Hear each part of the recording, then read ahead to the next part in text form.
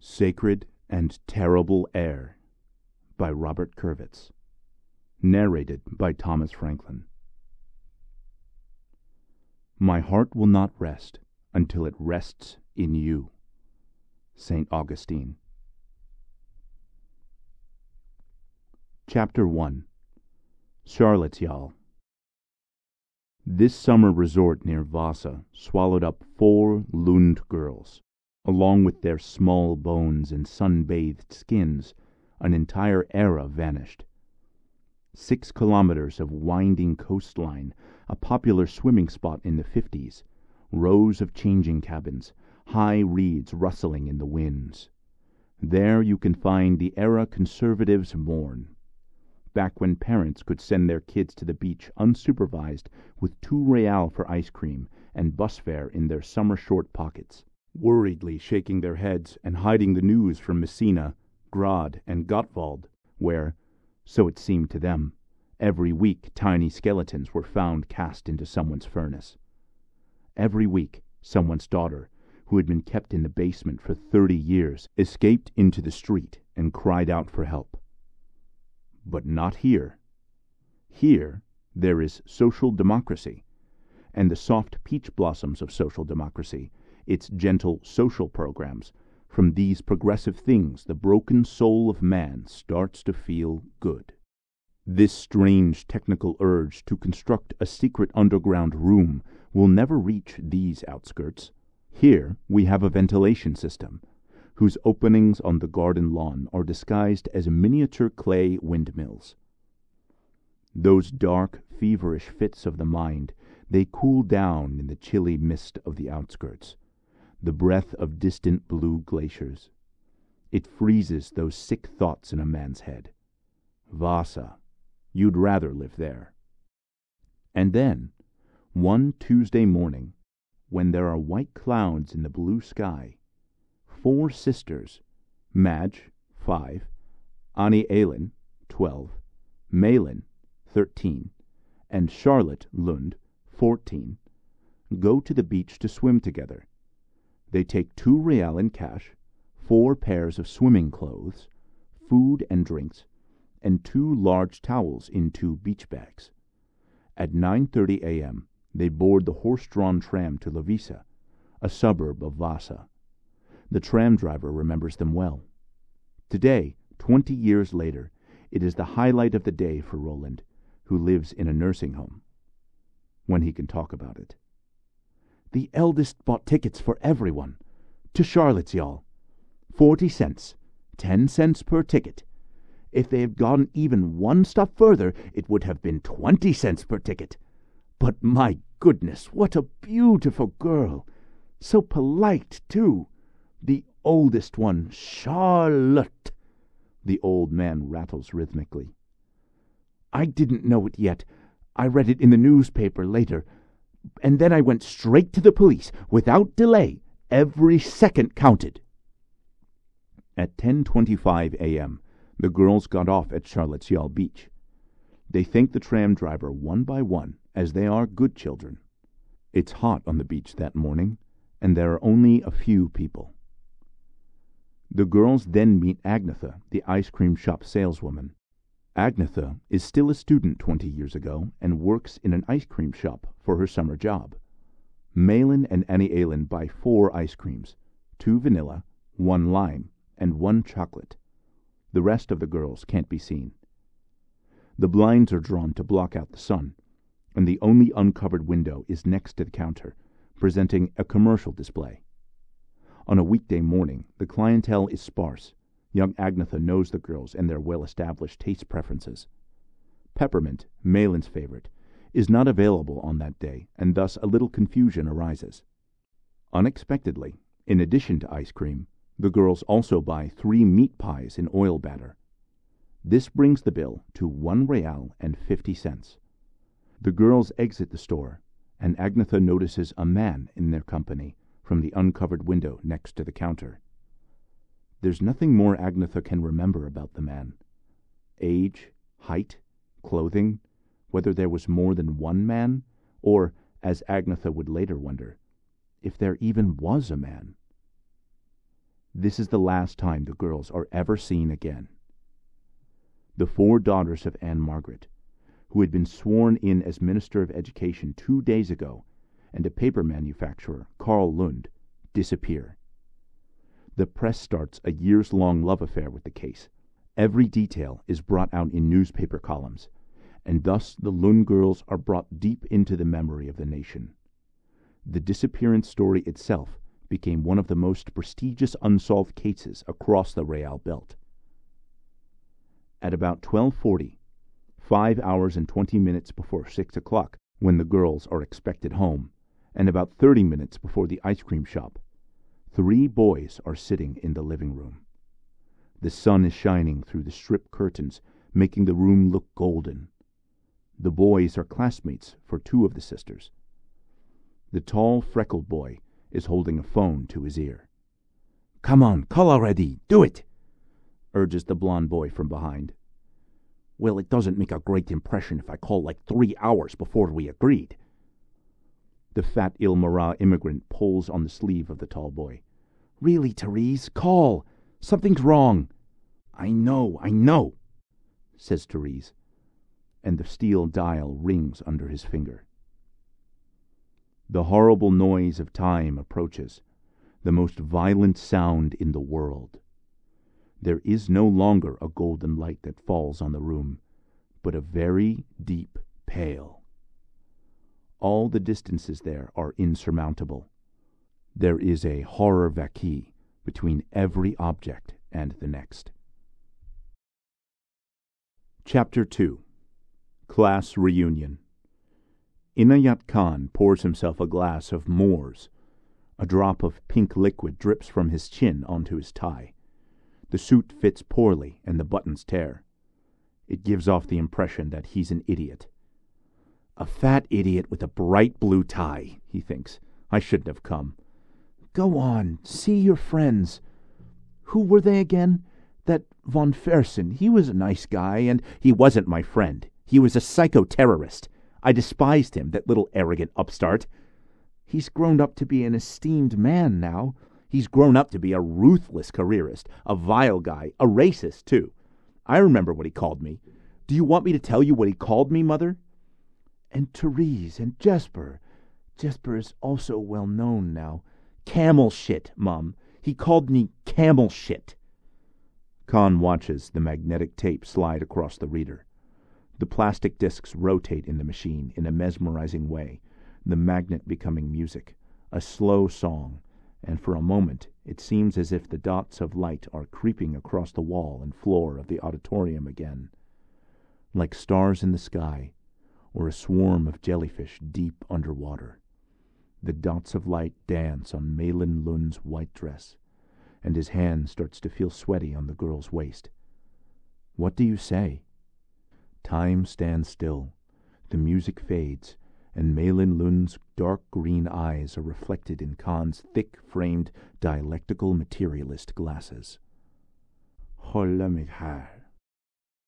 Uh, a woman probably from a parallel class stops next to the man. She starts to say something, but then pretends to reach for a snack. Neither of them came. Khan is alone, and the woman in a pantsuit is in a pantsuit. Can't just stand around either, have to manage somehow. He pulls a magic pen out of his pocket. There, beneath the glass, Supermat chairman of the Presidium of the People's Republic of Samara, smiles his hearty historical black and white smile straight into the camera. To his left, a man with a rat's face is leaning on the railing of the boat, wearing a black leather coat from the secret police force. Behold the elusive commissar! Khan says and flips the pen. The man with the rat's face disappears under the glass. Only the chairman of the Presidium, Supermat Nizinsky himself, together with Otomsky, a groveler, who is exceptionally adept at giving embarrassing criticisms, remains. Where there used to be a commissar, there is now an empty reeling. You can now see the part of the bridge that was behind the commissar before. Very interesting, says the woman in a pantsuit, and looks searchingly over her shoulder. Khan wipes away a piece of hair stuck to his forehead. In his other hand, He still holds a pen, which he now looks at with an oblivious smile, muttering to himself, There is a commissar, there is no commissar. The smile flickers for a moment, and then disappears from the man's double chinned face. Khan's big, sad eyes watch the hustle and bustle of grown ups in the lobby. The promotion of 56 is calling out for each other.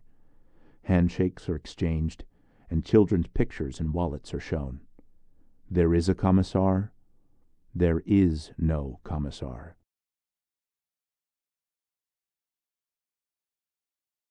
A man in his thirties sits on the parquet floor in a spacious room. The parquet is freshly varnished, the interior designer's blond hair falling over his brow. He sits with his legs crossed and his fine white hands clasped. When the man looks up, the room's interior is reflected back at him from the floor to ceiling windows. Behind him, in the dim light, the skeletal minimalism of the designer furniture the stone countertop kitchenette, and two analog speakers stood out like dark obelisks. A solitary spirit looms over the room.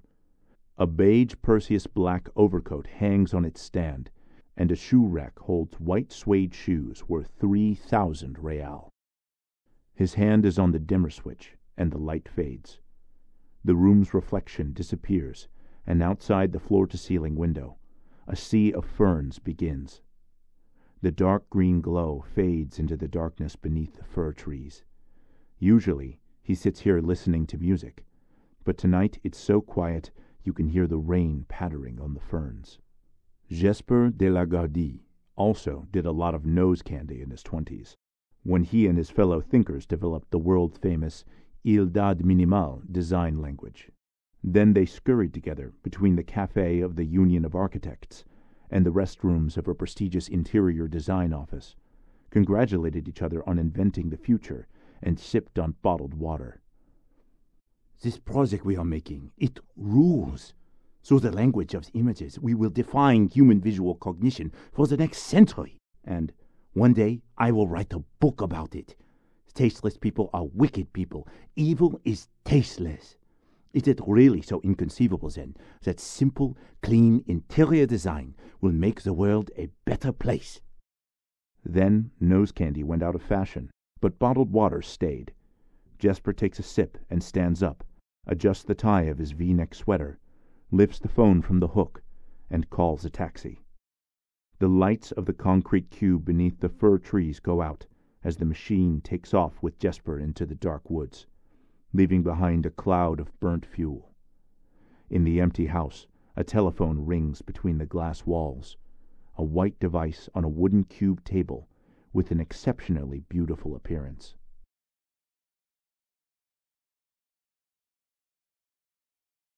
It's dark. International Collaboration Police Agent Therese Machahek steps off the train in Magnesium Hall. The steadily intensifying rain makes the steel monoliths of the carriages shine. There they tower, suspended by a rope railing in the sky above the platform.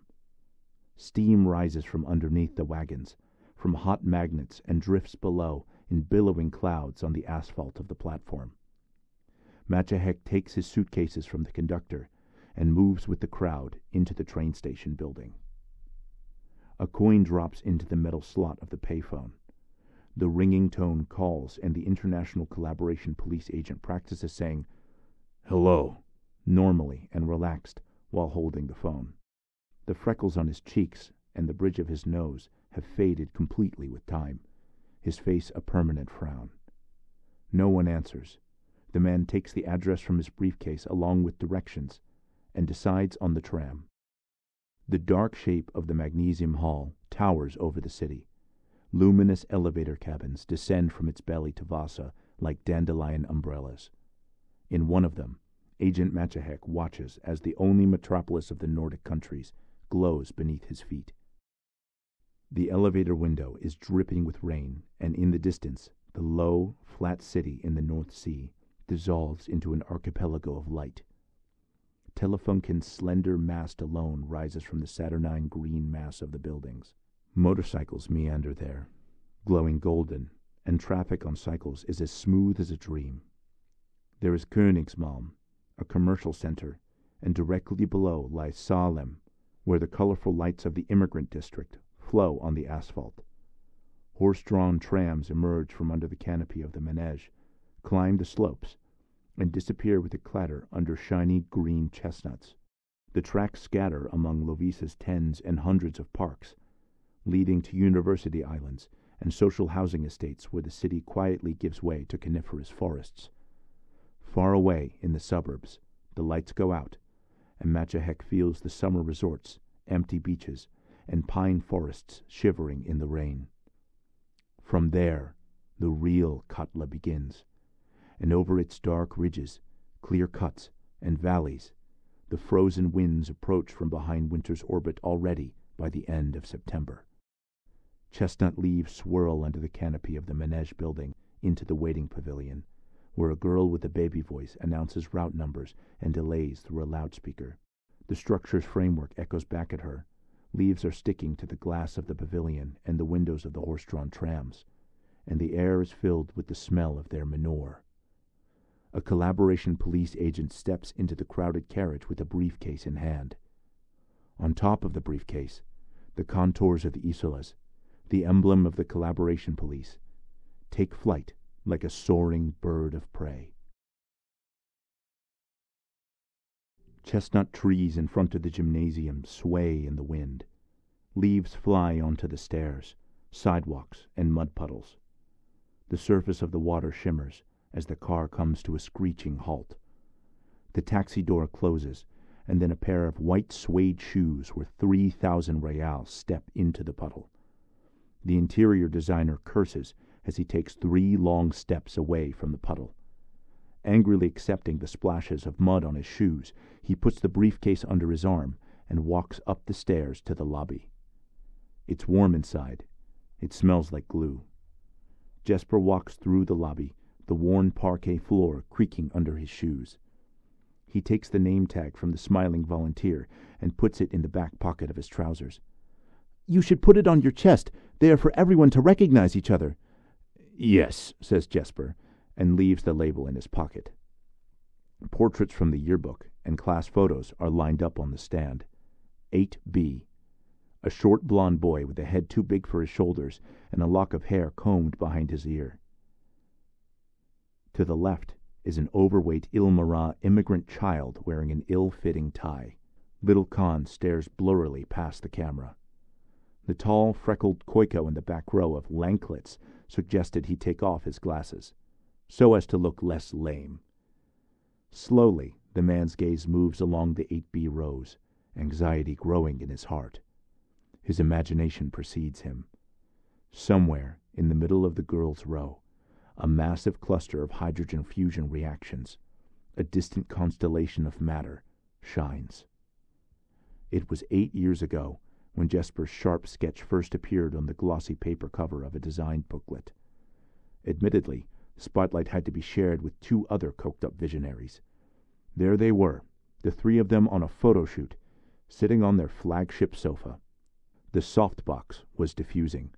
Fakengoff was playing, and underneath it all was written Pioneers, the future, sophisticated, and much more, all of which he remembers very well.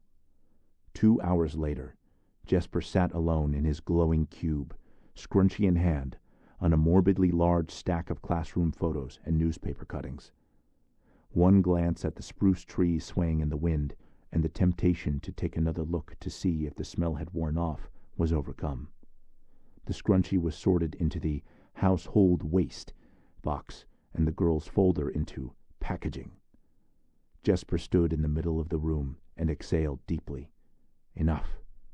It's over now. But where are they? Why aren't they here? Why are neither of them here? Disappointed, Jesper is already taking a step back to look over all the pictures properly, when suddenly a 34 year old man stops in the middle of the lobby. This man still lives with his mother.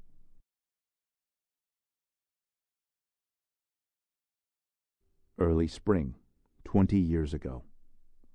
Little Inayat Khan falls headfirst into a mud puddle covered with a thin layer of ice.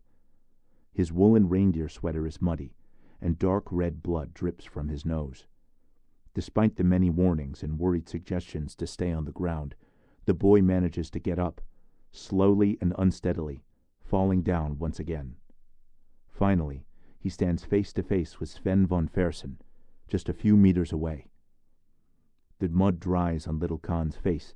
His hands rise in an awkward battle stance. His fists shake with anger and humiliation. Hey, do you know what he said? Von Fersen starts again. The despicable little lackey knows what Khan said, but still asks. Tell me, what did he say, Sven? Sven is not stingy with his answer. He walked little Malin home and kissed her. Can you believe it? Khan the leech took her home. Leechy Khan kissed her. Laughter echoes, and the lackey quickly chimes in.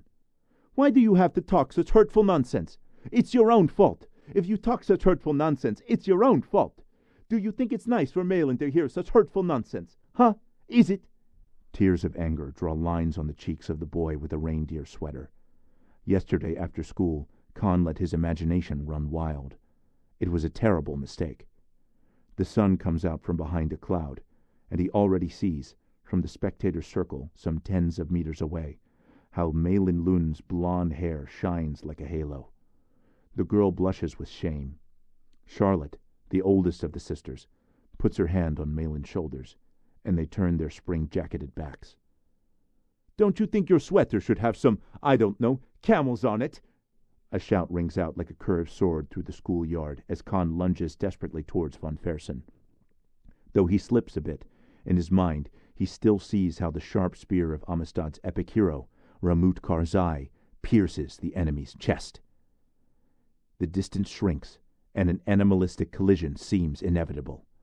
But suddenly, from the corner of his eye, he sees an unknown factor that stops him the other hand held up like a stop sign against von Fersen's stiff chest.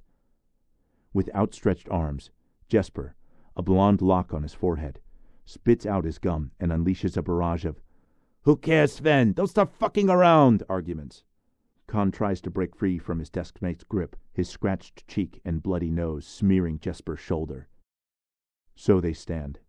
The bell rings, and the lunch break is over. The courtyard empties of children, and Jesper wipes his shoulder with a napkin. So, did you kiss Malin? he asks. No, but I did walk her home, and it went well, very well. Except it didn't go that well. Yeah.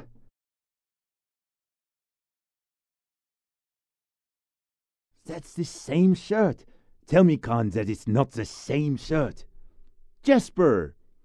Two adults stand in a cloakroom and shake hands for the first time in years. Jesper's flickering smile carries a hint of warmth. He begins. I think I behaved a little rudely last time we saw each other. I understand now. It was a mistake. Khan simply laughs in response. His two day old stubble wobbles along with his friendly double chin. I left an ignorant impression on you. Having said that, Jesper pauses for a moment to think about what he has planned next. I have news. Something new. He points to his folder and looks at Khan questioningly. Or have you, I don't know, become a chef in the meantime? You know, I'm always hardcore. Without even a hint of class reunion, Khan takes his jacket from the dressing room and they head towards the door. Look, a disappearing commissioner. It's not so bad. I made one for Therese, too. It's a special version. The same picture, but guess what happens if you turn it a little further? What happens? Otomsky disappears too. One pigeon, too. It's partly behind Otomsky. Otherwise, half a pigeon would be left hanging in the air. Exactly. Drops of rain fall from Agent Matahek's umbrella, and a puff of smoke floats in the shadow of the umbrella and then disappears into the wind. With his astra in mouth, the man folds the map and puts it in his briefcase. In front of him is the high school lawn where two men run through a silver rain curtain towards him. The Koiko takes a step back in his grained fishbone patterned coat. He makes room under the umbrella. It's enormous. It's standard issue for the collaboration police. Did he apologize? He apologized, Khan replies for Jesper. Is it nice there? Matahek points towards the school building. Khan shakes his head, and Jesper elaborates. Let's go to the city instead. There's one place, one new place. The three men under the large umbrella walk until they can't be seen any more. The distant chiming of bells draws closer as the silver curtains are pulled together behind the friends' backs. Eight years ago. Until the Stereo 8 format tape clicks against the magnetic reader, needles under little lamps hitting 12 decibels. The beat is unbearably smooth, even more modern than nose candy. Or who knows? It's hard to say. The beat comes from here, from the world famous Vasa recording studios. The beat was made by someone semi mythical, Fakengoff, who may be an Oranien's immigrant, a DJ, and a music producer, but is rather a group of people or a machine in the sky. The nose candy, however, came from a pirate ship through the uncharted Pale. The nose candy was made by a slave dreaming of revolution, and an overseer guarding the fields with a rifle. Fakengoff made the beat so that the girls would start dancing, and the boys would have a good view. The slave with machetes made the nose candy so that La Puta Madre wouldn't send his family to the firing squad. For six months, the nose candy matured in the Urmila high mountain plateau, in the golden rays of the sun. The world eagle, with its thousand kilometer wings, kept the sun from falling from the turquoise blue sky. The place where the beat seems to go under water for half a minute and then comes back, even more amazing than it sounds. Fakengoff whispered to the spirit of debauchery. He had angelic white wings, but his breath next to the ear of the DJ crouched behind the mixing console was hot, smelling of cinnamon and primal malice. My God, what a lovely numbness in the nose! My God, how good is that place where the beat comes out of the water!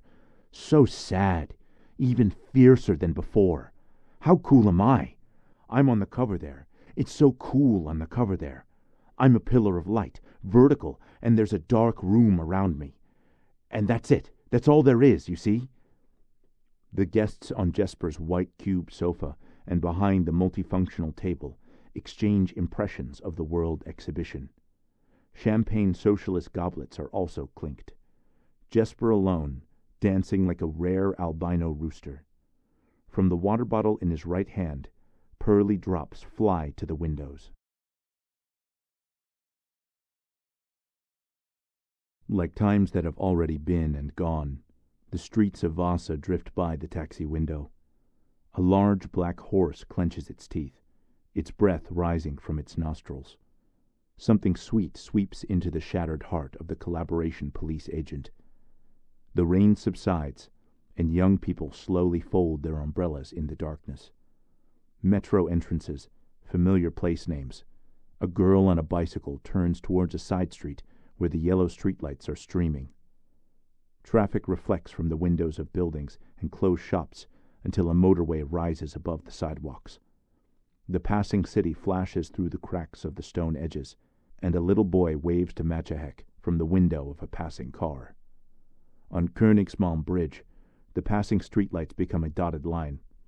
The gray silhouette of the prestigious residential area towers over the water, where Therese's home was when he lived in Vasa as a child. Ahead, behind the windshield of the carriage, begins the island district that had a dubious reputation twenty years ago. As Jesper explains now, careful development work and some groundbreaking galleries have made it the next trend area after Östermalm. Bourgeois bohemian, you mean? The taximeter ticks. It's warm and dark inside. Jesper doesn't even acknowledge Therese's witty comment. Hey, talk then! Khan changes the mixed topic of urban development and class reunion suddenly. I need a projector. There's also a tape. I'll talk when we arrive at Cafe Cinema. But show us the scrunchie. Therese joins in with the begging. Come on, don't start. I don't carry it with me. I threw it away. It was a very weird time altogether. A cunning smile appears on Khan's face. Jesper, don't be a spoil sport. Jesper looks out the window. No. A silent moment passes. The hum of wheels on the road, the clicking of a turn signal. Khan and Therese look at each other, chuckling, and Jesper pretends to be indifferent, looking out the window. Only a little later does he feel the obligation to pick up the conversation again. What did you tell Fersen? The detective story? Scrunchy, Jesper, the scrunchy. Show it. In a resigned manner, the interior designer reaches into his Perseus black overcoat and takes out a ring box.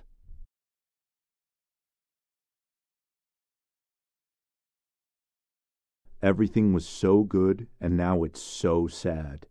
Talking about funk, aesthetics, and futurism with a young real estate developer's photographer wife under the window.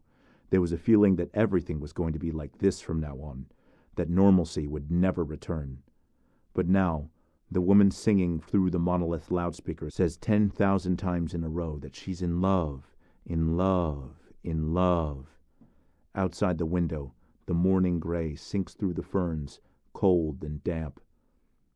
It doesn't feel like that anymore, that the song is about Jesper. Now it's just some singer in the studio. Maybe I should do it again. I just did it, and it didn't feel any better. I don't know. Maybe I should still do it. A minute later, in the milky gray light in the center of the room, stands a newly 26 year old version of Jesper de la Gardie, who has just stepped up to a higher league. His coffee colored shirt is unbuttoned, his nostrils are red, and his mouth is set in an angry sneer. So, the party's over. Go home. No one hears him. Valkendorf is too loud. With the stop button of the Stereo 8 format tape player under his finger, the pillar suddenly falls silent in the middle of the light. Heads turn. Party's over. Back home, you filth. Jesper's glassy eyes and monstrously disdainful mouth droop as clothes and handbags are awkwardly searched for. A pat on the shoulder from a fellow visionary earns him a look that can forever ruin human relationships. The real estate developer's photographer wife falls slightly behind the group in front of the house and then returns to the concrete cube. Anklet, she lies. Long legs in strapped sandals, a silver chain around her ankle frame the next sad sight. Jesper sits amidst the scattered garbage, sorting bags in the kitchen corner. He looks up at the kind face of the real estate developer's wife amidst the apple cores, empty water bottles, and handmade paper bags of pasta. The foggy September beats reflected in his eyes indicates that Jesper is not interested. Your condolences? No, thank you. The high reeds rustle in the wind, and the silhouettes of changing cabins stand in line under the gray-white sky. Four girls run across the sand and disappear into thin air. In his right hand, the interior designer holds a light pink scrunchie. Khan looks up at Jesper, a ring box in his hand under his nose. His eyebrows are furrowed. He is worried. The car jolts when it stops. The taxi driver sticks his head into the cabin, but quickly turns away after seeing the expressions on the faces of the men. The smell is gone, Khan says. I know. There's something very wrong with it. I know. Chapter 3 Non Entity The Roman Garad Conference distinguishes between ten different types of missing people. The ninth of them, non entity, is a flagrant violation of the International Bill of Human Rights.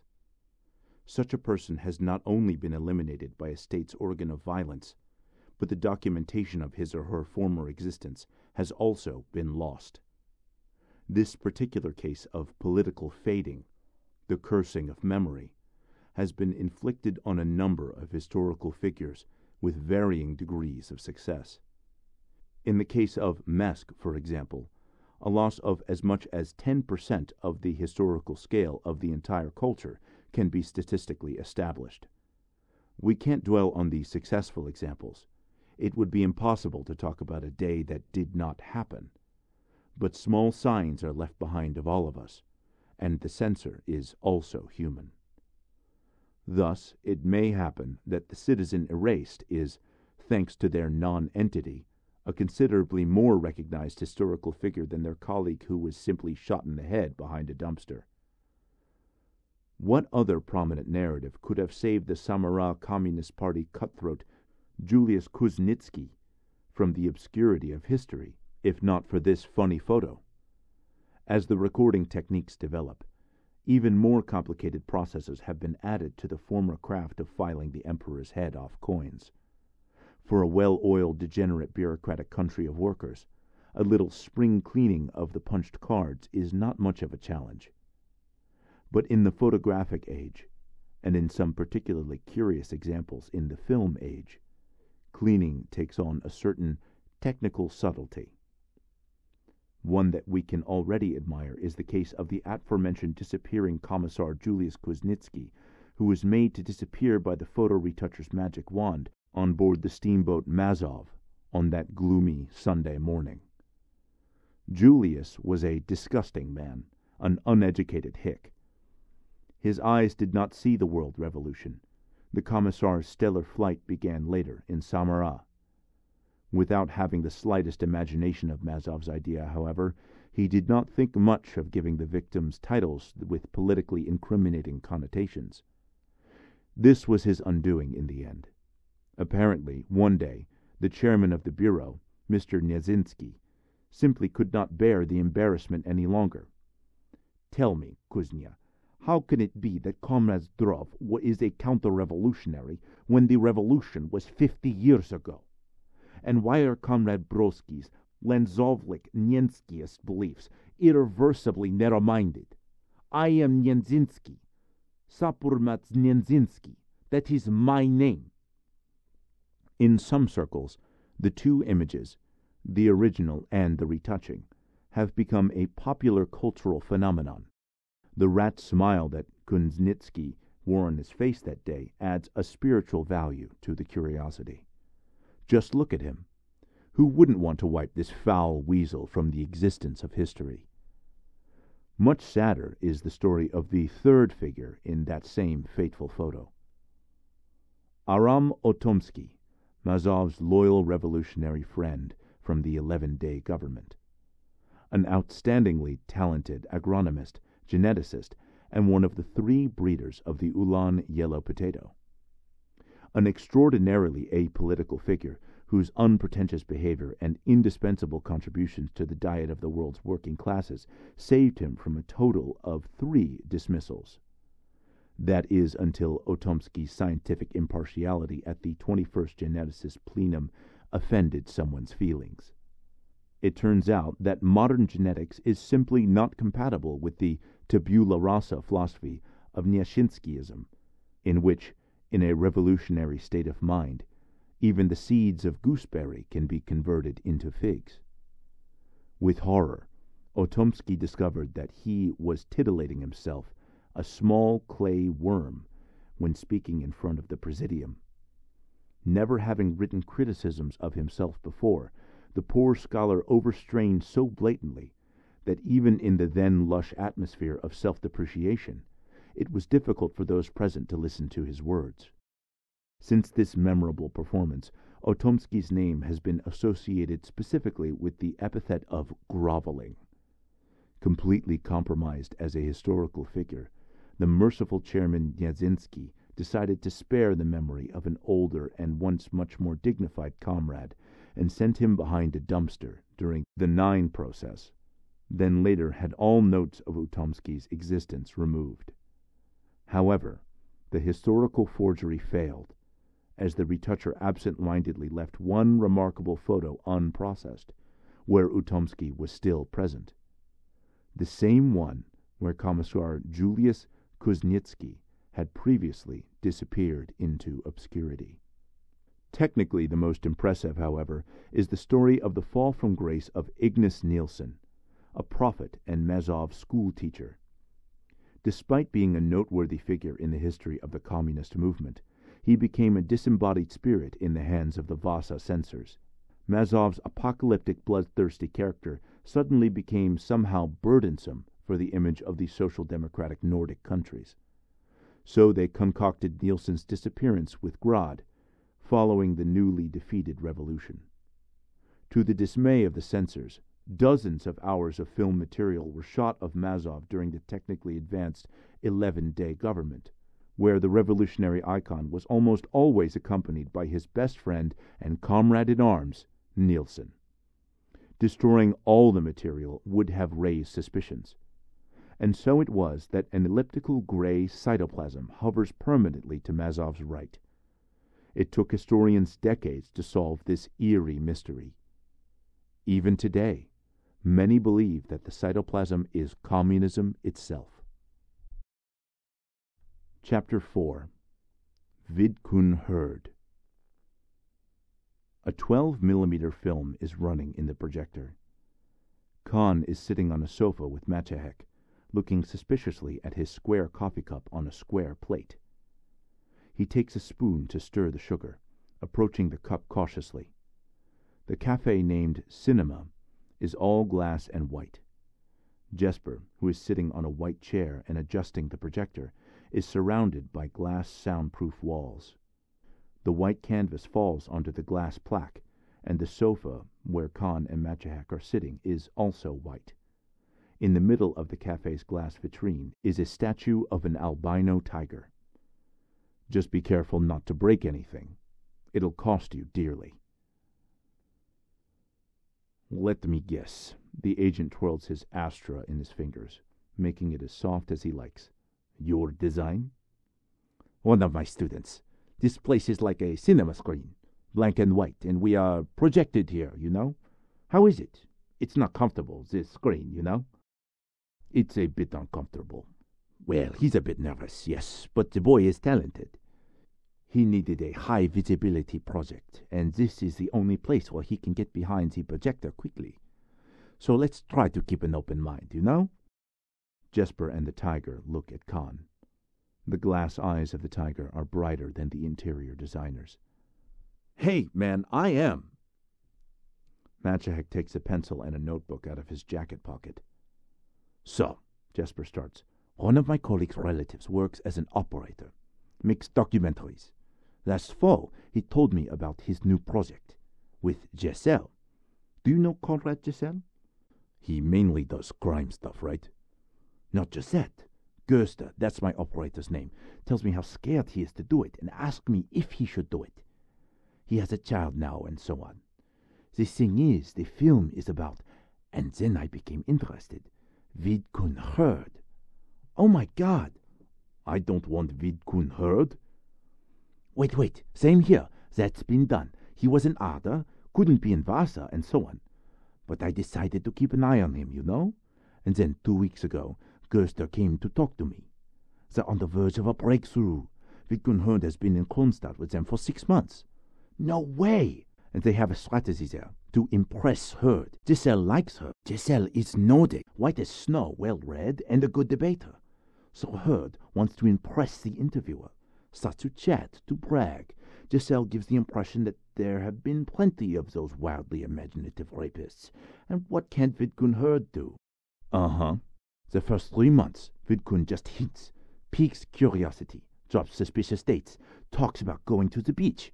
Giselle doesn't notice, discusses philosophy with Vidkun, overcoming good and evil. I have it all written down here. Jesper pats the folder on the glass cube table. Then, one day, Herd has had enough. The man flicks a switch and a small bulb in the projector's heart lights up. I must warn you now. He looks toward Khan.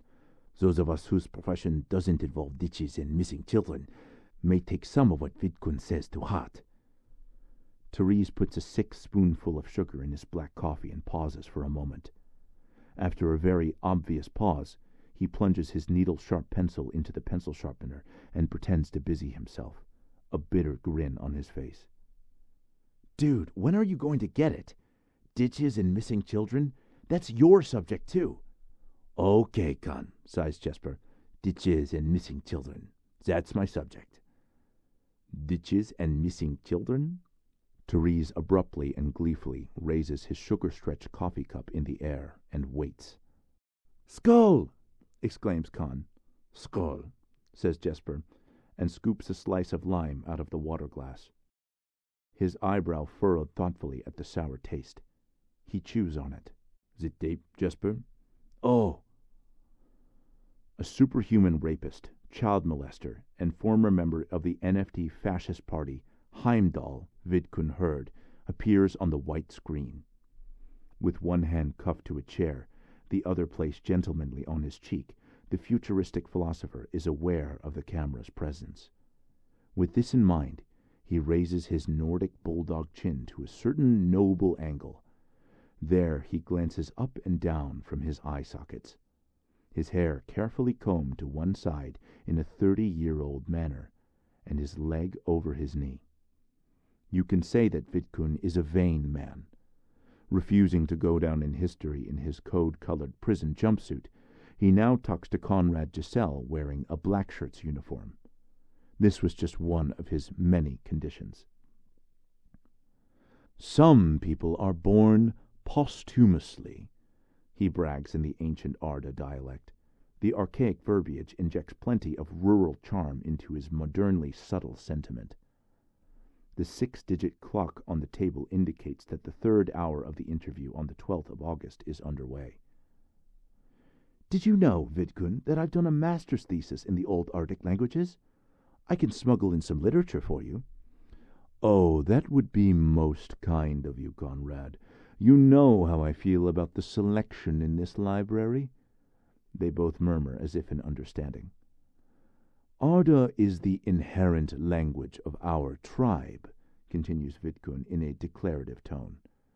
Its vocabulary was adapted and developed by the ancient mammoth hunters who settled Katla Plains thousands of years ago. Arda has a certain semantic advantages in basic matters of wisdom, advantages that continental peoples lack. Arda is our nature, modern day Vasa, a metropolitan bastard, regressed to continental, infiltrated by Grad. This watered down language is incapable of expressing the truth. All the sentences in this dysgenic compote end up expressing the same thing international stigma. The next century will see our tribe return to its original language.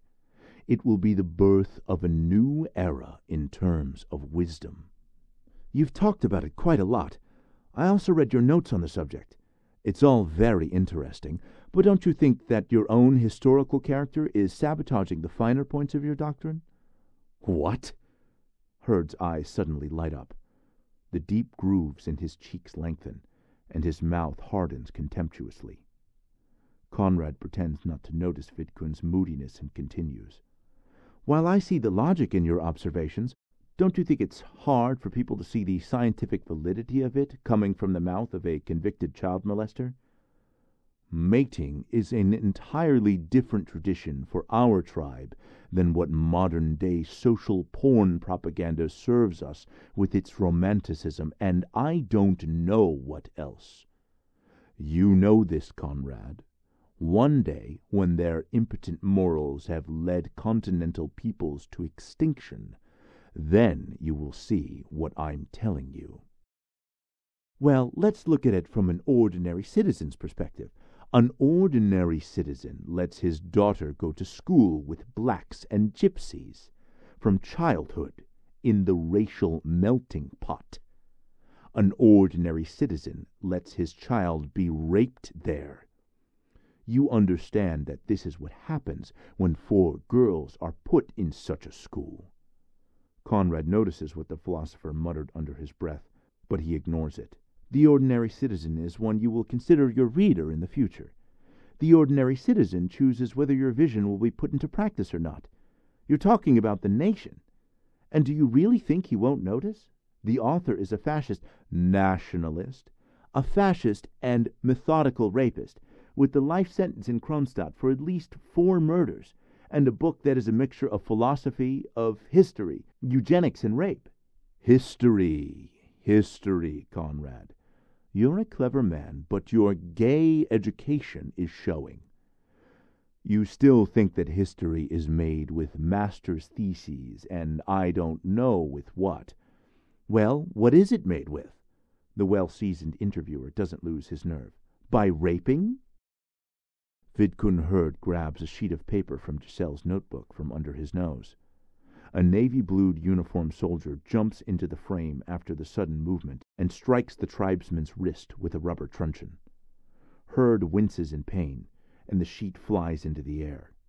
The world famous documentarian Conrad Gesell, a three time Oscar Zorn nominee, raises his hand towards the soldier. Although he lowers his truncheon, the soldier stays vigilant beside the man, stroking his wrist. A pen!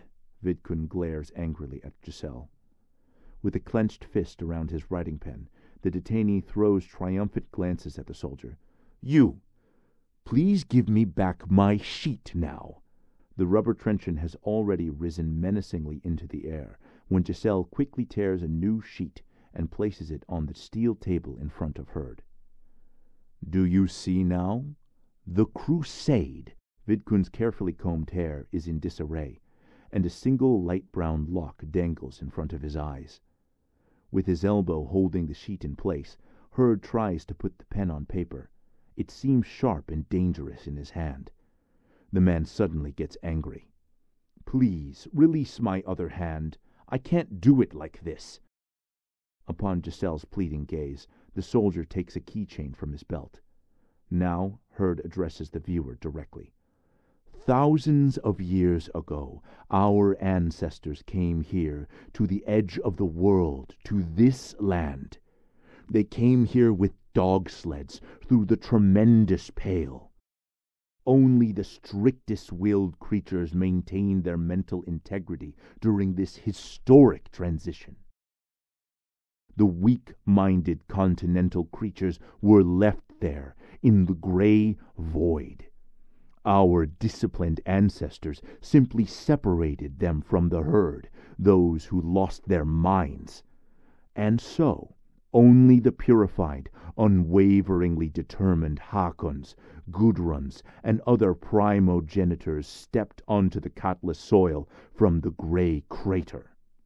Within fifty years, these primogenitors hunted down all the mammoths in Katla. They flourished Vidkun Hurd stretches his liberated hand victoriously and begins drawing small dots on the sheet of paper. This is a fundamental eugenic law, Conrad. Fundamental. The more challenging the environment, the further the human being evolves beyond the step wall. Here, in this dark, snowy expanse, man was not meant to live here. Just to survive, a superhuman tendency must emerge. Gesell shrugs with anticipation, not interrupting and nodding understandingly. A superhuman tendency is not limited by moral constraints. A superhuman tendency is not limited by moral constraints. A superhuman tendency is a deliberate desire. Everything is possible for it, nothing is forbidden. Through blood, in the darkness of night, from one winter to another, it is passed down from generation to generation. Even in you, Conrad, there is a superhuman tendency. Conrad nods. Vidkun Hurd's face turns an unhealthy red.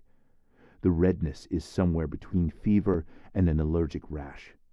All of us, including you, are obligated to amplify this primordial entity within ourselves like the jaws of a predator, grow tougher from eating meat. Obligation, obligation to your pack, so that they too have big jaws, the kind that can hold a lot of meat. Vidkun admires the artwork with a proud smile that doesn't seem to fit his face. The camera hasn't yet shown exactly what's happening on the page, but Gesell leans in closer to the picture. A rare creature, the middle one, a unique treasure. The projector hums. Jesper takes a laminated copy of Vidkun's paper from the folder and places it on the table. The page carefully maps out an unfamiliar constellation, an elegant constellation of dozens of dots. Khan's mouth drops open in horror. Collaboration Police Agent Therese Machahek calmly makes a note in his notebook. You have no idea, Conrad, how hard I fucked her. You can't imagine. Hurd is still speaking, when Jesper hurriedly switches off the projector. June, twenty years ago. It's dusky and chilly on a cliff in the pine forest by the shore. The scorching sun hangs over the tops of the pine trees, but only a few patches of light make it through the interlaced sand and root tangle to reach the forest floor, like golden spots on the ocean floor. For a moment, there is complete silence beneath the trees. From a hundred meters away, you can hear the heather crunching under the approaching boy's sneakers until the sea breeze makes pine needles rustle again. The trunks of the trees sway gently, a tangle of dark orange pillars with golden stripes on the sides from the sun. The sweet smell of resin floats in the forest. The dusty taste of chamomile, a sweet and bitter bouquet, lingers in Therese's nostrils. A match is struck, and thick puffs from the stolen Astra cigarette sweeps all the smells away. A trail of smoke clearly outlined in a single beam of light. Therese relaxes his windbreaker over his head. He practices making smoke rings in the light. Just a few kilometers away, in the town, is his father's diplomatic villa. The house, so close to the popular summer beach, made Therese a popular boy three weeks ago at the beginning of summer vacation. Just as footsteps from the others can be clearly heard from behind the hill, Therese blows a small ring through the larger smoke ring. Oh, I did it he exclaims, ruining his masterpiece. What? Jesper, in shorts and a sailor's shirt, asks as he reaches the hill. What did you do? The smoke ring went through the other one. You're smoking now? asked Jesper, startled. Want some? Astra. It's the strongest. Give me, Therese. I'll have one. Khan, who is panting, comes up beside Jesper. A binocular with a leather strap hangs around Khan's neck. Here. Therese throws the packet towards Khan, who spills some as he fumbles with his hands. In his exhaustion, the boy still manages not to drop it and lifts it under his glasses. Cool! Khan gives the carton a professional assessment. The white stars run there on the blue cardboard. Pointless, Jesper says out of the corner of his mouth, and walks away from Therese, to the top of another hill to survey the land. That shirt of yours, well, that's pointless. Therese lazily stands and offers Khan a match out of the matchbox. Jesper squints his eyes and raises his hand like a captain, surveying the forest floor before him. Pointless, yes? Annie didn't think so. You know, she complimented me on it last day. Did she now? Jesper turns to Khan. The boy takes a tentative puff of smoke. Hey, Khan, remember in the dressing room Annie said that was a nice shirt? She did, Therese. She did say that. Fersen jumped in like a fool and told Annie she had a beautiful dress before I could. And something about her hair, too. It was very funny. An opportunity to be polite is never missed, Khan announces with a smile, coughing up some smoke. Let's go. Three boys move through the patches of light, sliding under the trees toward the top of the slope. Khan throws away his cigarette with a failed flick and starts twirling his binoculars on a string. His backpack shakes as he accelerates downhill. Running down the slopes, the other boys jump over the heather bushes. Only Jesper worries about his white pants and strolls dignifiedly with his hands in his pockets, like on an evening walk. The sound of the ocean in the trees grows louder as they approach their usual spot on the cliff. The wooden fence has signs of danger of collapse, where the small piece of slope is falling down. Crossing the pedestrian road and climbing into the bushes from under the sign, Khan explains to Therese. Look, they call it the North Sea, but it's actually an ocean. Theoretically, it extends into your Egressy Sea through the Pale. It reaches Grad. This makes the North Sea intersolar, so it's actually an ocean. A question of classification.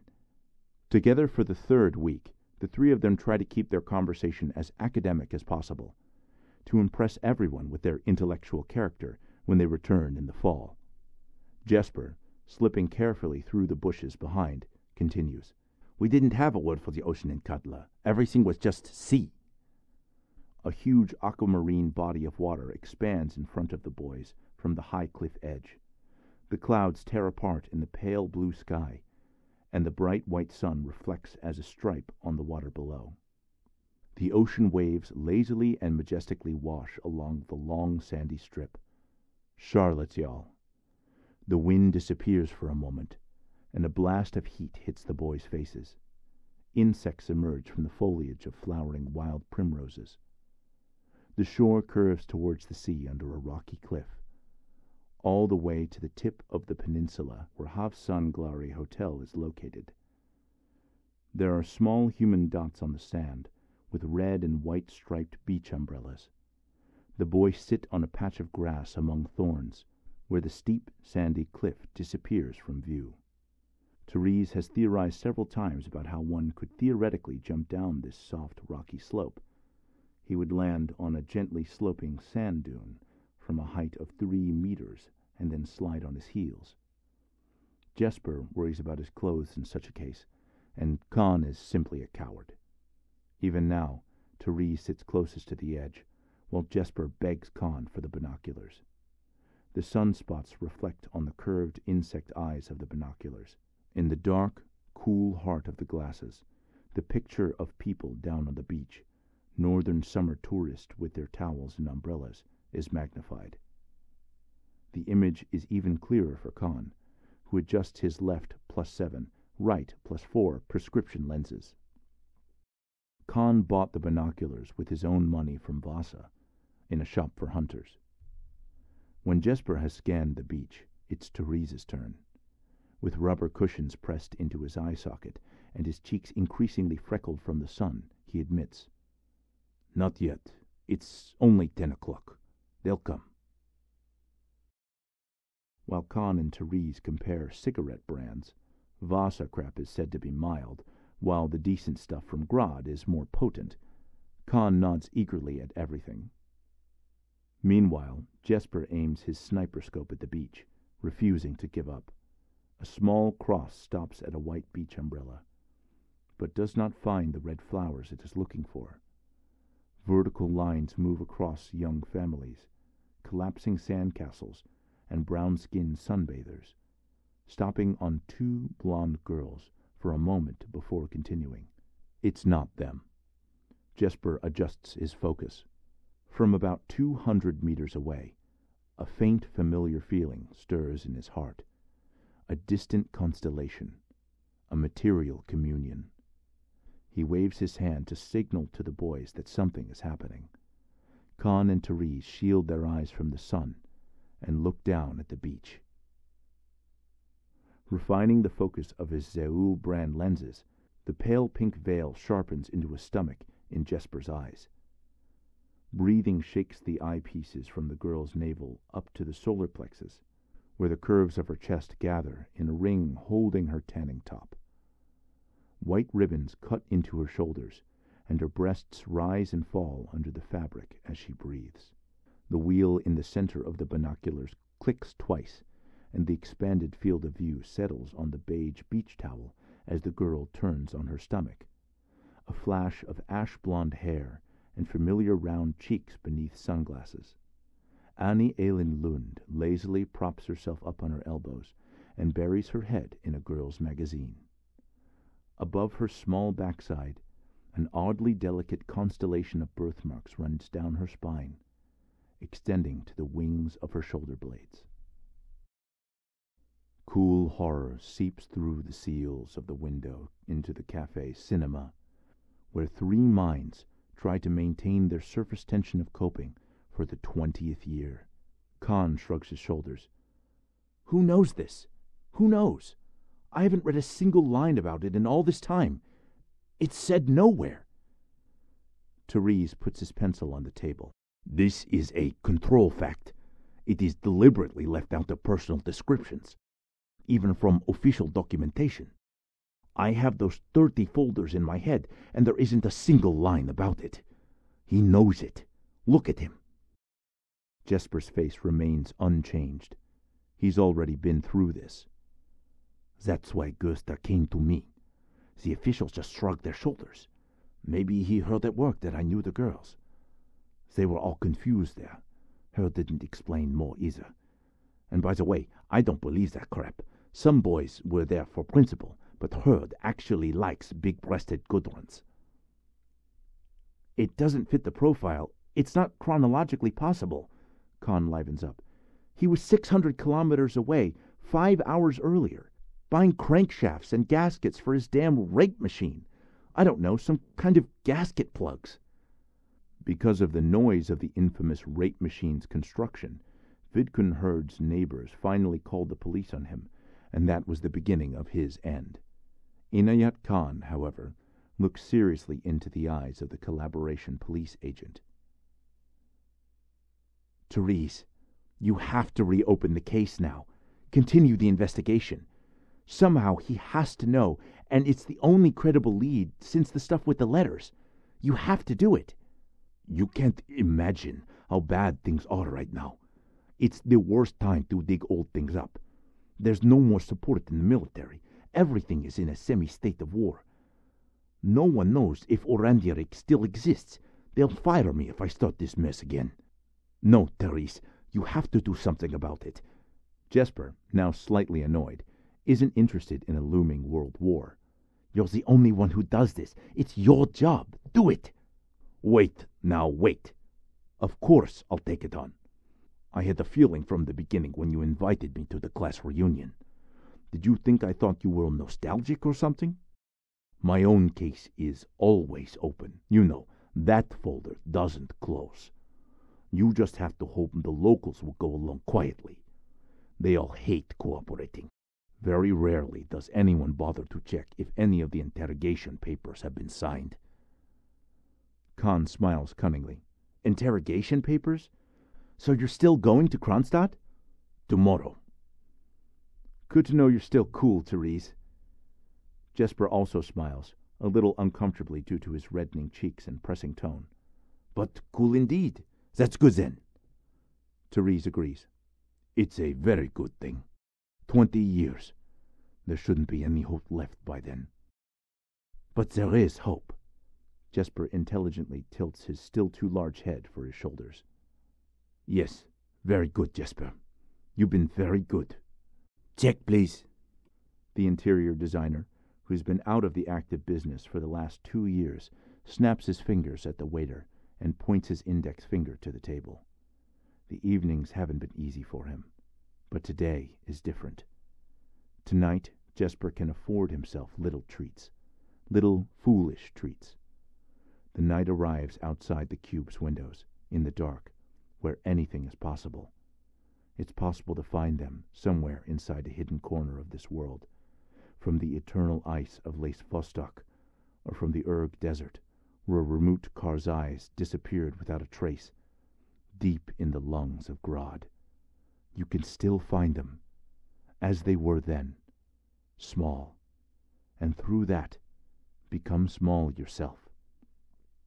Above the clouds, at the foot of Corpus Mundi, you just have to lift the veil of raindrops a little, and you can touch them you were so brave not to give up.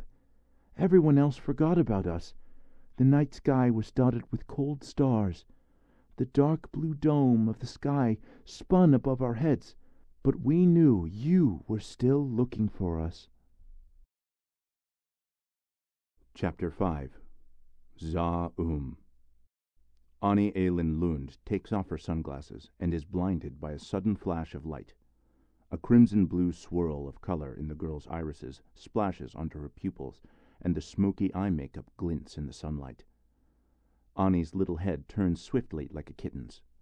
A sun bunny hops from a girl's magazine to sand, from sand to sunshade, as the girl's eyes follow it. What's going on? Therese asks, dangling his legs on the edge of the cliff. I don't know. Malin's there now, too. She's standing. That's what I can see from here, that she's standing, interrupts Khan impatiently. She stands there, and I have to admit that red dotted swimsuit doesn't look too bad on her.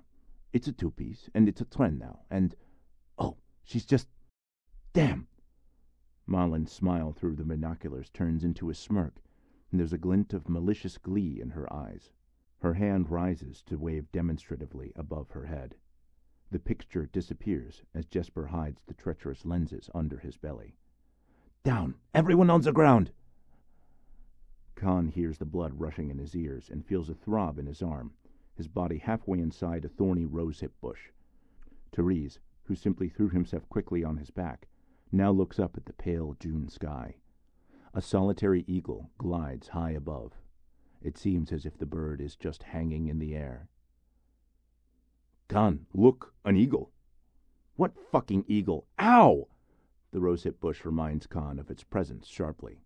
Don't wiggle, you're rustling the bush, Jesper grumbles from the middle, lying on his stomach with binoculars in hand. Well, if they've already seen us, then it doesn't make much difference whether I rustle the bush or not. Hey, look what they're doing. Look for yourself. Jesper slides the binoculars to Khan. The bush rustles as Khan, wearing a loose summer shirt, crawls out of it with his binoculars in hand.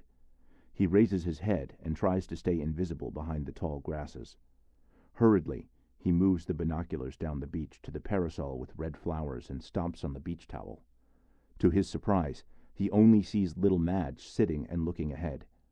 Sweat drops onto Khan's glasses as he starts to worry. Forebodingly, he moves his gaze closer to the rock at the bottom until the little opera glasses are only about a hundred meters away, staring straight into his lenses. Standing there, with one hand on her hip, is the slender Charlotte, eldest of the sisters, with her auburn hair flowing in the wind.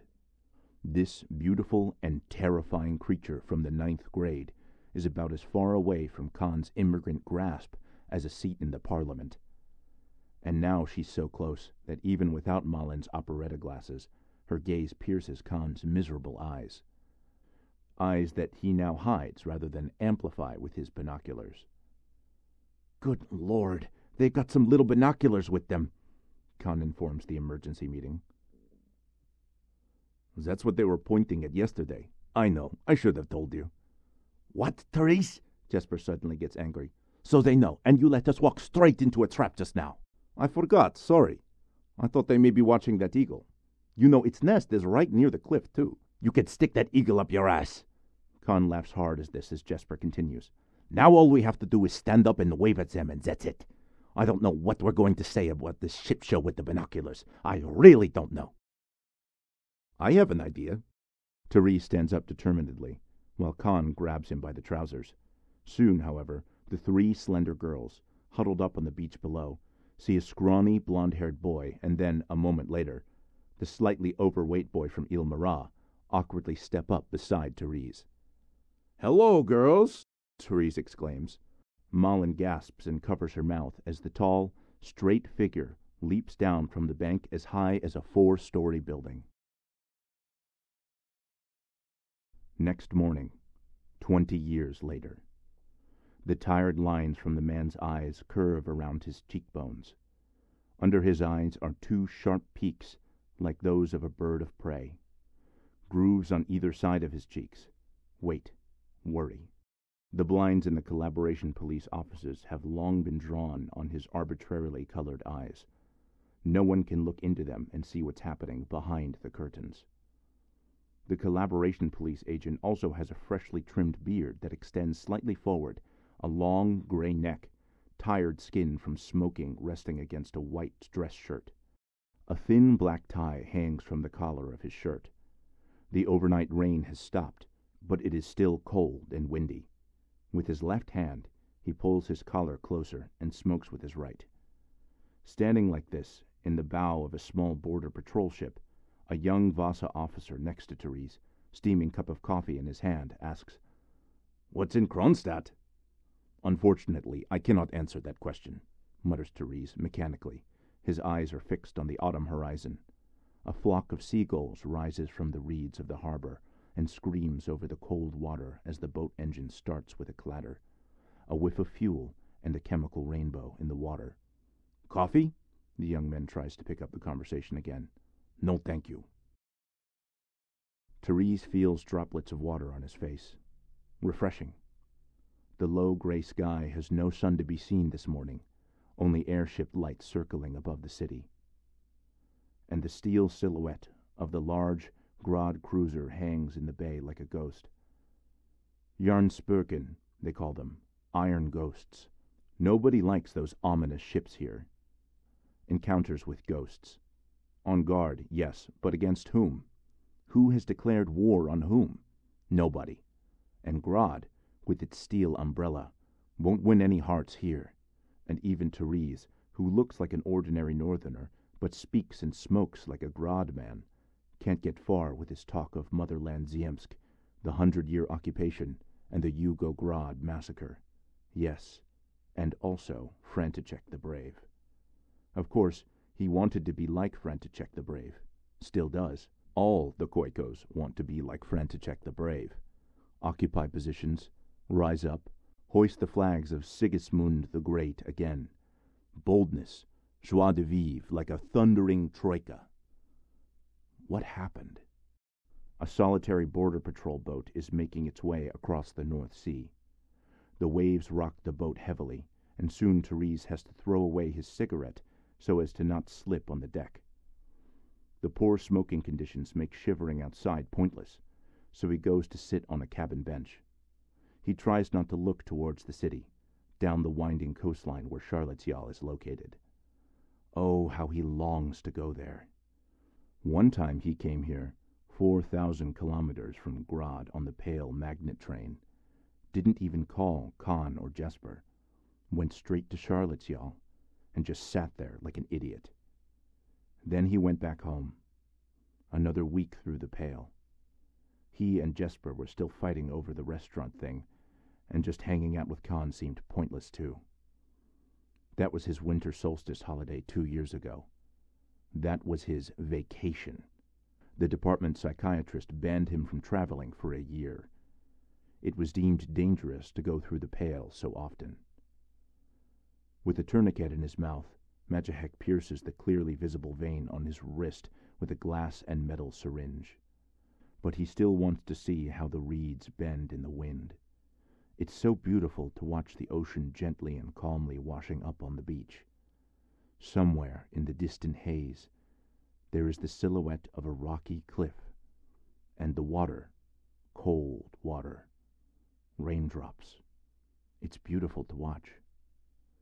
Therese's veiny hands lovingly stroke the black suitcase in his lap. Hadramut Karsai! Shouts little Inayat Khan from the edge of the cliff and jumps. The sun shines. His belly tingles as if he has a hundred meters to go. But the fall lasts only a moment. Suddenly, his feet hit the sand. For a few seconds, he kicks his heels into the sand and the slide slows. Little Khan feels the roots poke his buttocks and the rocks scrape on his back, his shirt coming out of his trousers. His glasses bounce off his face, and a cheering freckled Therese rushes to catch them underneath. The girls run toward his battered body. You're crazy! exclaims Ani. There's a reason to cheer. But not little Jesper. He's now alone up there, and staring at the cliff, his white trousers, his sailor shirt, and then the cliff again. No! He purses his lips, packs the backpack left behind by Khan, and takes the long way through the forest.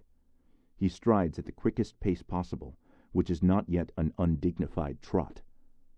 From the pine-clad footpath, the boy turns on the suspension bridge, between the two rises, and then descends the steps onto the boardwalk on the other side. The journey to the beach seems to go on forever. Already he thinks with horror of the nonsense that stupid Khan must be spouting. How is he supposed to play along with it uncoordinated now? It's only half an hour before Jesper reaches the beach below and stands helplessly beside the girl's empty beach towels. Excuse me, you didn't happen to see where the boys who jumped down from there went? He points to the cliff in the background. The old man was asked to watch the girl's things.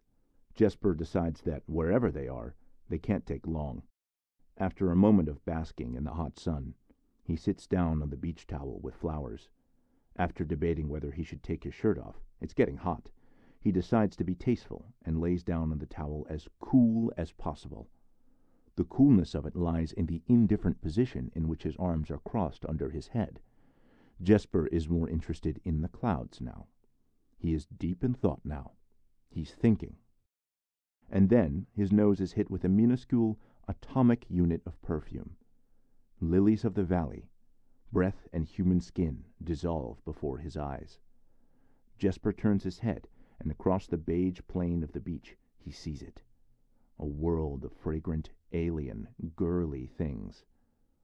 There are white and pale summer dresses with ties folded so terribly neatly, little belts and useless knickknacks. Ani's exquisite bracelet, and in the weaved baskets there is just the kind of food girls like. Jesper can't seem to remember any of it, but there certainly isn't much of it. Girls don't like to eat. That much Jesper knows. In a foolish fascination, he raises his hand for the little bottle protruding from the small bag. The perfume bottle is shaped like a pomegranate. The golden liquid behind the raspberry colored glass flows, and Jesper watches in fascination. The world disappears. Still holding the bottle, he doesn't even understand why, but his hand surreptitiously puts the little hair tie back into the breast pocket of his sailor suit. He throws himself on his back again and looks at the sun through the glass of the bottle. For a brief moment, he is in the raspberry red world of the pomegranate, when suddenly, as if out of nowhere, Charlotte's long legs loom over him. Little Madge looks him straight in the eye from Teresa's shoulders. What's he doing with your bottle, Annie? The fiery synapses in Jesper's head begin to make connections as soon as the spell is broken, and he doesn't let a casual surprise appear on his face. Revacholier, he pronounces succulently, and then finishes like an old pro himself. Granat, number three, very good choice. Strong notes, natural. Juniper gives a kind of airy go. No, very good choice. What can I say? Yours, Ani? Jesper sits up quietly and undisturbed. Khan and Therese look excitedly in the direction of the girls, especially Ani, who licks a lime ice cream with a smile. Mine, yes, she says, a little snippy at first, then becoming more polite. Your mother's a perfumer, isn't she? It's more like importing than producing lately. But she's got papers and stuff. You know, I've been to the Revachol perfume factory to see how Cronat is distilled. You've been to Revachol? Even Charlotte is impressed. She's something of a goddess at school, a grade above with her expensive clothes and high school boys. And now the goddess's eyes go wide with surprise. Jesper's ears turn flaming red. Once, yes. My mother's colleagues invited her on a tour. Therese, who had been holding the flag oh so high, thinks that now that the greater danger is over, Jesper should be brought back down to earth. So that's why you smell like a flower. Little Madge on Therese's shoulder laughs uproariously at everything the boy says. He was lucky. Therese would never have guessed he was some kind of child magnet, but that adventurous leap has already kept him afloat for three quarters of an hour. Khan is completely useless. He manages to catch every third of Therese's bait, but then he doesn't know what to do with it and just mumbles. Ani sits next to flushed Jesper. I think Jesper smells good. Not at all like socks or that dressing room. It's quite horrible, says Malin mildly. Honestly, it's all Van Fersen. Khan now scores his first point. Fersen has these PE socks. It's not normal the way they smell. Therese breathed a sigh of relief. The queue for ice cream was already quite long. Neither Khan nor Therese are the best wordsmiths in an emergency, and Therese's plan was to avoid the topic at any cost until Jesper arrives. Luckily, Madge came to the rescue and demanded to be on Therese's shoulders, and her constant chatter made everybody laugh. Therese now feels that it's time to finally address the issue. He lifts Madge off his shoulders and glances suggestively towards Jesper, mentioning casually, You took the things with you, right? Cigarettes? Binoculars? Ani Ailin doesn't fall for the cigarettes. What was that binoculars thing you had there? We already saw something flashing all the time yesterday, like a little mirror. It was exciting. Uh, just bird watching. You know, there's a pair of sea eagles nesting there. Therese barely manages to start when Malin grins maliciously. Bird watching.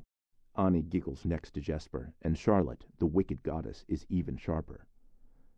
Yes, bird watching is indeed popular with gentlemen these days. Jesper is bright red, but in a deep crevice of Machahek's freckled face, František the Brave lifts his gallant head. It's about time. He rushes towards Therese, throwing caution to the wind, towards the brightest and most unlikely prize. As is customary for us, the filthy Khoikos, all or nothing. Golubetsko moya, Therese Machahek says with a charming smile. Well, maybe we saw even rarer birds. So often, all or nothing means nothing for us filthy Khoikos. But not on that day. On that hot sunny day, twenty years ago, Charlotte! Her rounded shoulders move forward, her clavicles stand out. Under the arches of her eyebrows, cold green eyes light up with a smile, like the light of a distant star. For Therese. It says, Chance. Therese is so happy. Everything is going so well. Shadows grow, hours pass, and the white sand turns yellow, then orange and striped with shadows.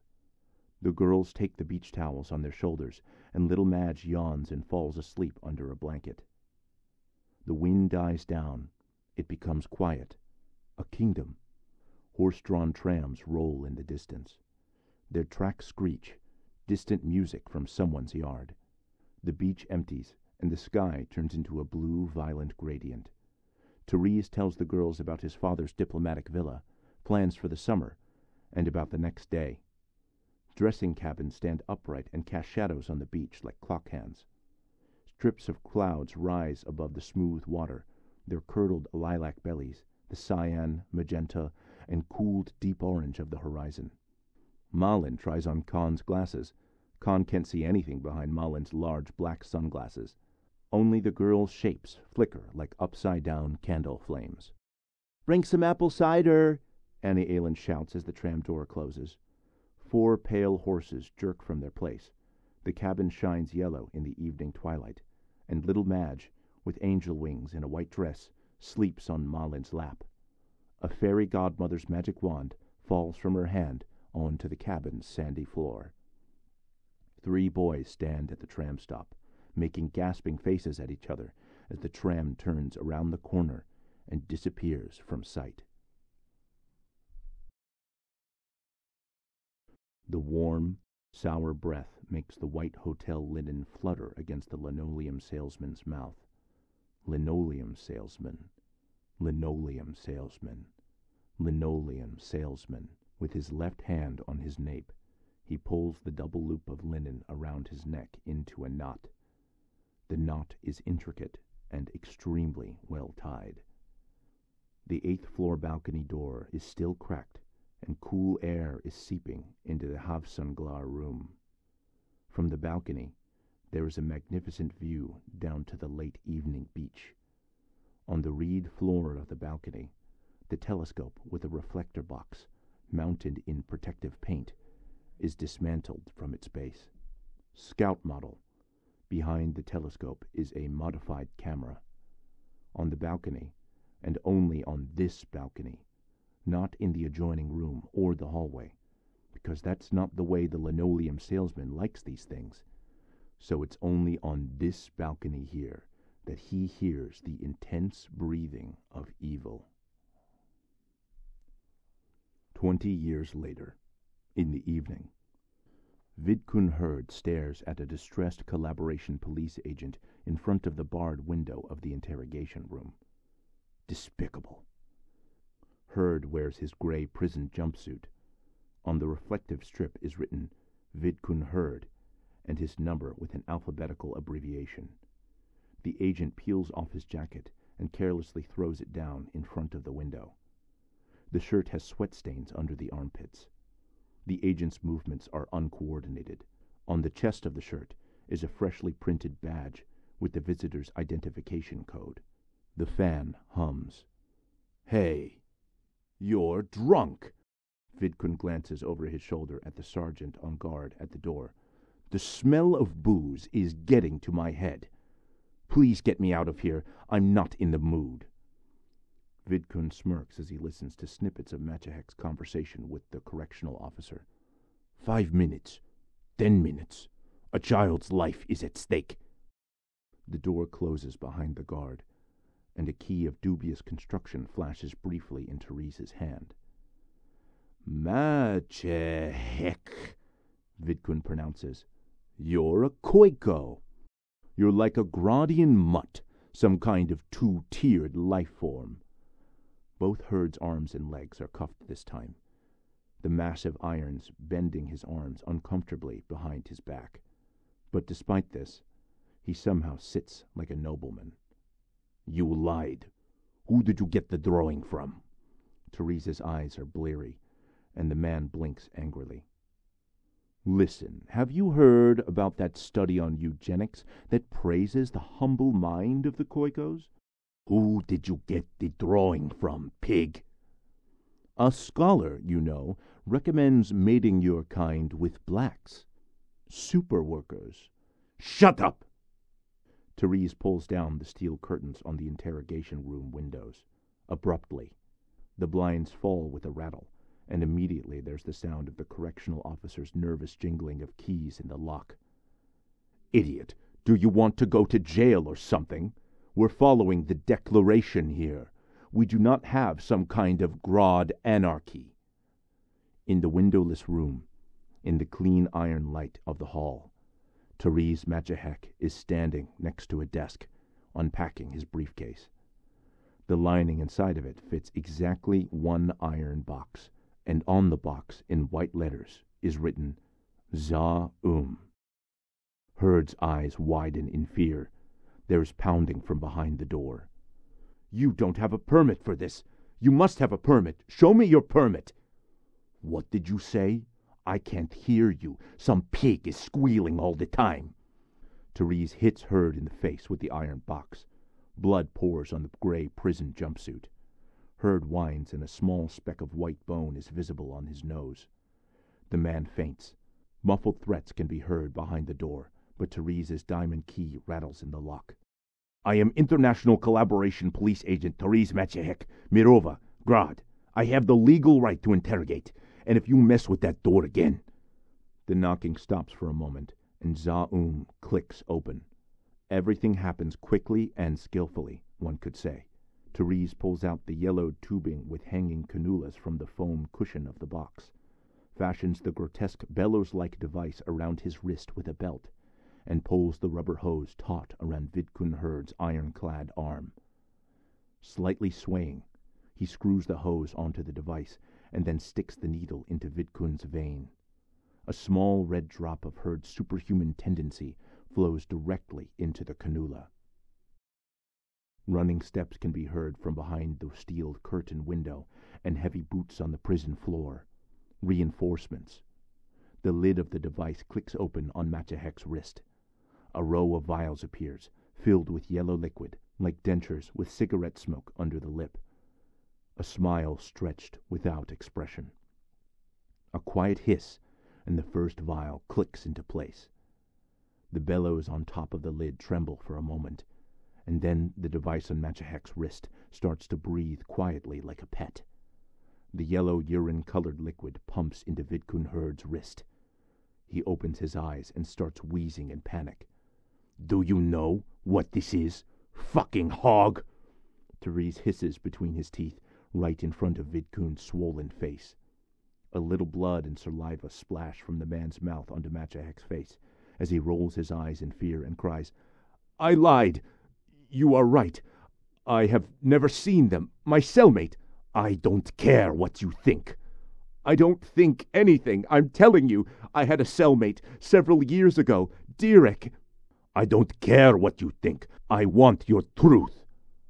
Therese's eyes are bulging terribly. He snatches the gag from Vidkun's arm, and the vein, swollen with mescaline and lysergic acid, visibly shrinks. Suddenly, Vidkun clenches his teeth so tightly that they seem as if they will break at any moment. You can't have anything from me. Now you can't get anything from me, he splutters madly. I'm so strong. The battering ram can be heard from behind the door. I love that you think so. It's best if you think so. Therese pants, screwing another cannula onto the apparatus. It's for him. Eyes fixed on the wrist, he jabs the needle into his vein. The first vial is empty. The next Therese shares with Vidkun, excitedly spluttering against his mouth. It's a mincing machine. You can't imagine how hard I'm going to fuck you with it now. The piss yellow liquid breaks through Vidkun's blood brain barrier, and on his head, under his skull, a huge pressure builds like a bubble of air. The man's face clenched between his hands, Therese begins to scream. His voice reaches Herd's head like white noise, pure, bellowing violence. I'll make a cretin of you, do you feel? Vidkun's scalp gives in to the pressure of the agent's hands and cracks open like a flower bloom. It feels like something is being born from it. Vidkun's handcuffs rattle helplessly. The man tries to hold the substance that is bursting out of his head with his hands. Pieces of his brain still fall from his fingers to the floor. He can't. It's too slippery. There's too much of it. I can see your cunt. You're open in front of me. I'm going to open you up. Therese pants, watching the whole of Vidkun Herd open up in front of him. The man trembles under the sharp fingers of the agent and tries with all his might to say, to tell him what he is looking for, to say it in human language, but his mouth no longer works. And all this time, as Therese wades through his head like a tiger in water, Vidkun sees only one picture reflected back at him from Therese's mirror. On that cool surface, where Vidkun escapes from the devastating slaughter in his own head, Charlotte Lunde's dark green eyes look at him. Deep inside the pupils, the chance given to Therese shimmers. It is so beautiful and infinitely sad when Therese collapses from exhaustion behind the interrogation table. Vidkun begins to cry. The Vasa coastline sparkles before him, and the nightly waves break against the hull of the border guard ship at his feet. A yellowish dome of light shines above the city in the distance. It seems indescribably joyful. All those white and yellow lights in the city fit in Therese's hand. And even though it is cold outside, he is not wearing a coat. His jacket flaps open, and Vidkun Herd's blood splatters are still on his white dress shirt. The hands of the collaboration police agent are comfortably handcuffed, and a young officer helps him stand on the deck. What mischief did you do there? asks the officer. If I wrote you a symphony, sounds a crackling voice from the transistor radio. Hey, thanks for letting me out. It was a beautiful evening. Okay, the officer begins to laugh quietly. Could you turn up the volume on that song? What? I promise I won't jump overboard. Turn it up. I'm more worried you'll fall overboard, but okay then. The officer steps into the ship's cabin and onto the deck. Over the noise of the waves and the engine, a massive beat and the man's falsetto say, If I wrote you a symphony to show you how much you mean to me. Therese's foot starts tapping. With the same relief he only feels after using za um. He sighs to the officer. You know, I just solved the disappearance of the Lunde children. What? You don't know? It's very famous. When was that? Oh, a long time ago. You weren't even born yet. But it doesn't matter. It feels so good right now. I think I solved it. Therese laughs. It's a dark laugh, but genuine. Very genuine. And the night over the North Sea laughs back at him. Chapter 6 František the Brave Sometimes the saddest disappearance is the one that remains unresolved. Before it became a hydroelectric power station, the Peremenaya Vera was just the Vera River, into which the operetta star Nadia Harnoncourt threw herself at the height of her popularity. It could have stayed that way. Nadia simply vanished after one autumn evening after a thrilling performance, her heavenly soprano still echoing in the opera house. Was the old man right who claimed to have seen her walking across the bridge in her evening gown? Or was it the fanatical admirer who insisted he'd met her a year later in Revachol? Perhaps there is some truth in the paranoid pulp novelist's tale in which Nadia is actually a Mesque spy, nihilist, and a doomsday prophet. Who can say for certain? But one thing is certain. No one needed to see Nadia's remains emerging from the mud of the reservoir in her evening gown. No one needed to see the colony of river mussels in her eye sockets, the dead grin of her golden teeth, or the shocked expressions of the hydroelectric power station construction crew. Futility.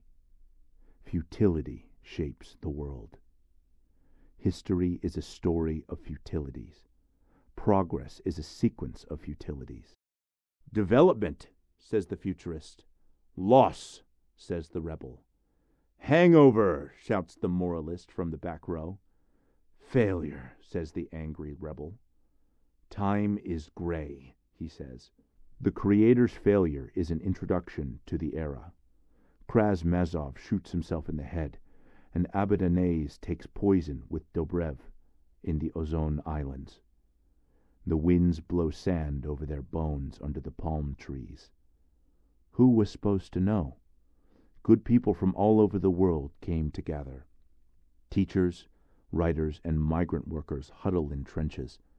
Young soldiers desert their units. What beautiful songs they sing! Brave children are history's favorites, so it seems to them, and they wave white flags with silver horned crowns. And they lose. Coups are crushed. Anarchists are piled into mass graves on the Great Blue. Communists, beaten back from the Isla of Graad, retreat to Samara and become a degenerate worker state ruled by bureaucrats. The disappearance of revolutionary lovers is resolved 35 years later when the hugging skeletons of Abadanez and Dobrev are found on the shore of an unnamed Ozon island by Riche Lepomme's eight year old son Eugene during a Saturday evening outing. Wearing shorts and a butterfly net, he stands and looks perplexedly at the bones of his past as they cling together. Faded and smooth, where does one begin and the other end? Time has mixed them up like a deck of cards. Afterwards, Riche erects a hotel there, along with the now world famous health center. But the greatest failure is not how Mazov's global revolution ended in bloodshed and then defeat, nor how the bones of revolutionary lovers are now displayed in an aromatherapy waiting room. With internal unrest suppressed, Graad becomes a world power, a giant nation, its cities thriving, and the light of this growth shining like a sparkling network from orbit. Whole nations disappear from the map of the world. Nations where Mazov once had many supporters. Nations like Ziemsk. Nations whose peoples are derogatorily referred to as Khoikos. And this goes on for so long that eventually they even begin to call themselves that. Therese Machahek is seven years old. His father is a model Koiko, a diplomat, and a usurper bootlicker who has not yet taken him to school in Vasa. The city is a zone of ecological catastrophe, a post megapolis and pre necropolis human settlement in the penultimate stage of development. Polyfabricate spreads out at the border of Ziemsk and Yugo. The monster engulfs Ziemsk's historic centers, Ferdidyrk's royal old town, and Lenka's pine parks. Summer begins, and in the dimness of the cellars a name is whispered. Children shouted in the courtyards of the houses. The leaves of the trees rustle on the quiet street, an only echo of that name that resounds in the ear of the Graad militiaman. František the Brave. The bravest of the Khoikos. A movie star. A revolutionary. It was just recently that the riots were brutally suppressed in the spring, and now nothing has been heard of him for two months. It is said that he lurks far away in the taiga, in the Yakut Reserve, and acquires special abilities from the indigenous priests. Fantastic things! his step eagle cheekbones and yearning gaze, gentle smile as if the sun were rising above the taiga. A smile he saves only for those rare occasions when his serious eyebrows are furrowed with worry. His daring face appears in forbidden films in the Jersey factory, where women are brave, sewn onto white cloth from tank tops and panties. No, František the Brave is in Samara, ah, negotiating. He is coming with the forces of the People's Republic. Don't be naive. František is far away, in the Kola, in Winter's orbit, in Ignus Nilsen's hut. They'll never find him. Quiet! František the Brave wouldn't hide. Just yesterday he was seen in line to buy meat. He now has a false beard and a butcher's apron. He called himself Vozan Sark. Read it backwards. But the months pass and no news comes. And soon it's autumn. Industrial dust falls like a mourning veil on the golden and red leaves. In October, a completely different story begins to circulate in Ziemsk. Quiet and timid. František the Brave was shot behind a dumpster.